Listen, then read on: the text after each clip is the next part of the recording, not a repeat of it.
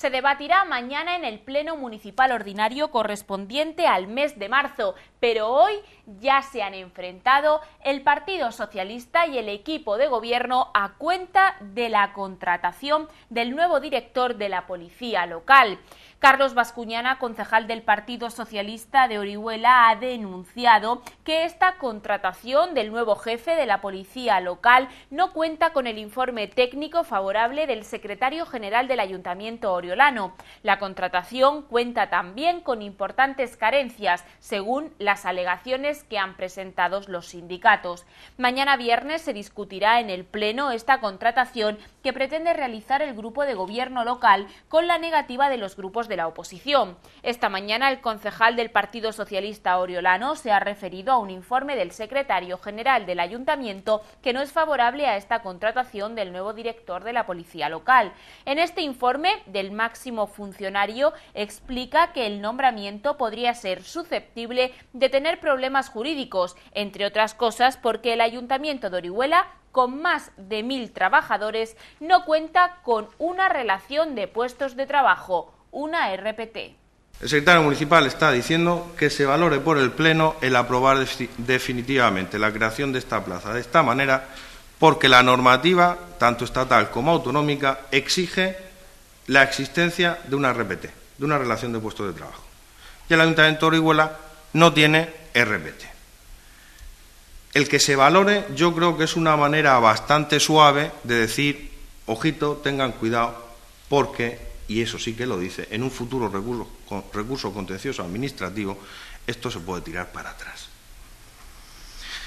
El informe del secretario municipal, pues evidentemente no es un informe destroyer, no es un informe mm, que arrasa con todo, intenta guardar cierto equilibrio con el equipo de gobierno, intenta guardar cierto equilibrio con las tesis de los alegantes en relación a los defectos que puedan haber, pero las conclusiones son relativamente claras. ¿eh?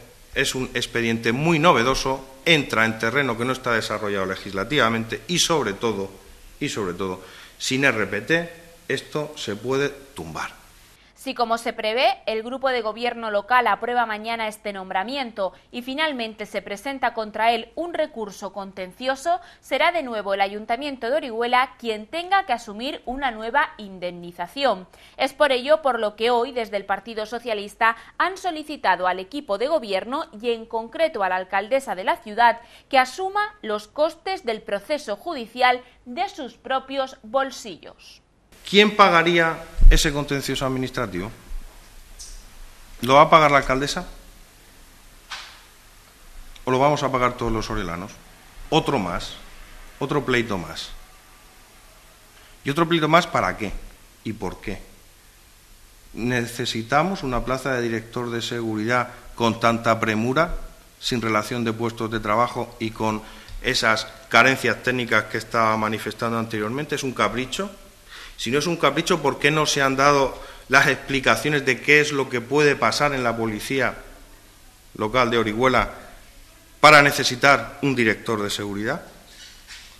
Estamos hablando de prepotencia, de orgullo, de vanidad. En definitiva, vuelvo a como empecé. ¿Va a pagar la señora Lorente de su peculio, de su dinero, ese contencioso administrativo? Que ya nos están avisando que va a llegar, es otro más. Desde el Partido Socialista consideran innecesario y sobre todo no justificado la creación de este puesto de trabajo de director general de la Policía Local, un puesto que le costará a los oriolanos más de 50.000 euros al año. Lorente quiere un director de seguridad ya y a cualquier precio. Lorente quiere un director de seguridad ya y a cualquier precio que la alcaldesa insiste en la creación del puesto como un funcionario y por concurso público de libre designación, a pesar de las reservas manifestadas en su informe por el secretario municipal. Y que desde el PSOE se pone esta actitud como ejemplo del modo de entender la democracia de la alcaldesa y de su concepto de buena gestión municipal, ahora que tanto estamos hablando del ahorro. Mañana este debate será uno, suponemos, de los más agrios del Pleno Municipal Ordinario correspondiente a este mes, un pleno que, como siempre, podrán ver en Telorihuela a partir de las nueve y media.